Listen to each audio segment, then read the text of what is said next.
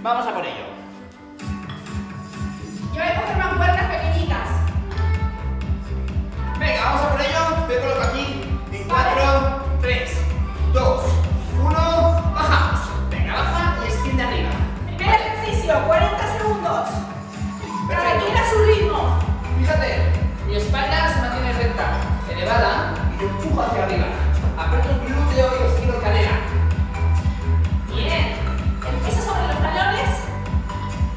saco aire cada vez que estoy arriba, saco aire. Vale, si a alguna se les complica seguir el ritmo, hacéis sentadillas únicamente, ok, de a poquito, sin prisa, o elevación.